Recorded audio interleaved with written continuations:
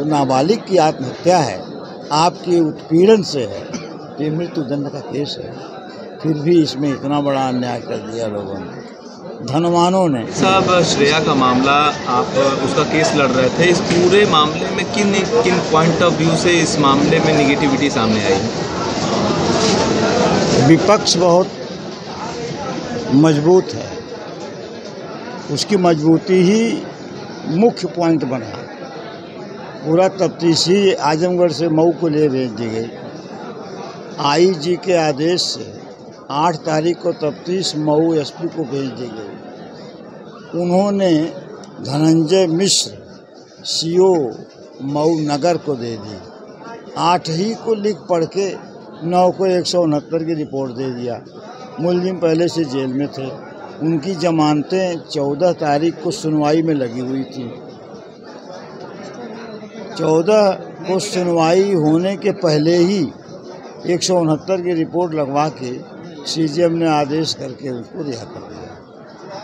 अच्छा वकील साहब इस पूरे मामले में पहले आजमगढ़ पुलिस जाँच करती है और उन्हीं साक्षियों के आधार पर इन्हें जेल भेजती है। देखिए तीन साक्ष्यों को मऊ पुलिस नहीं मानती। देखिए तीन सौ दो में एफआईआर हुई तीन सौ दो दो सौ एक में। यहाँ की पुलिस जाँच करते करते दो, तीन सौ छः दो सौ एक में आई पकड़ कर बंद की रिमांड लेकर जेल भेजी। और यहाँ की पुलिस जो जाँच कर रही थी, उस पर विपक्षियों का कोई दबाव काम नहीं कर रहा था। ठीक है ना? इसीलिए ये तफ्तीश आईजी के आदेश से सीधे मऊ पहुँच गई। और वहाँ एक ही दिन में सब कुछ हो गया। एक सौ उनहत्तर तक की रिपोर्ट आ गई और रिहा भी हो गए। चौदह को अदालत में बेल पर अगर बहस होती तो सारी बातें जब खुल जाती तो एक सौ उनहत्तर की रिपोर्ट लगाना बड़ा मुश्किल हो जाता लोगों ये बहुत बड़ी साजिश हुई है। एक गरीब के साथ न्याय का गला घोट दिया।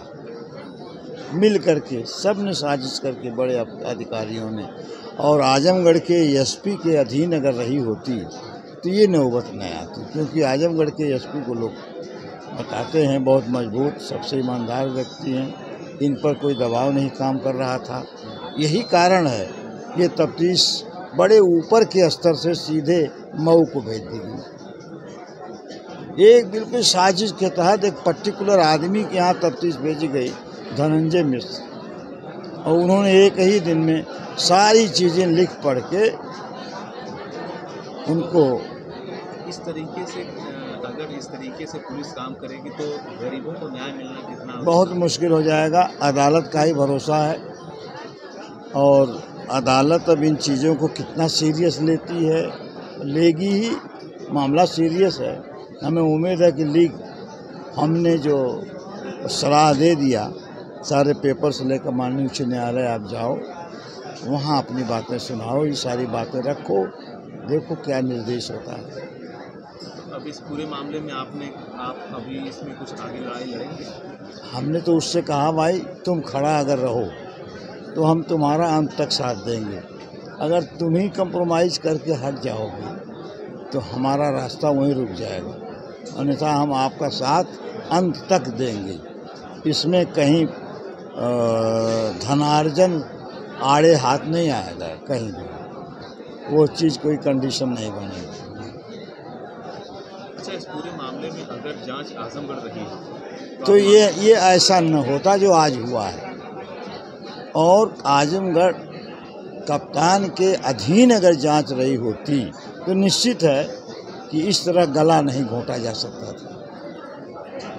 आज गरीब का रो रो कर बुरा हाल है। कल से हाँ, पूरा परिवार बेहाल रो रहा है। हम खुद वहाँ थे पूरे दिन जी। हालात देख करके खुद रुआ खड़ा हो जाता है।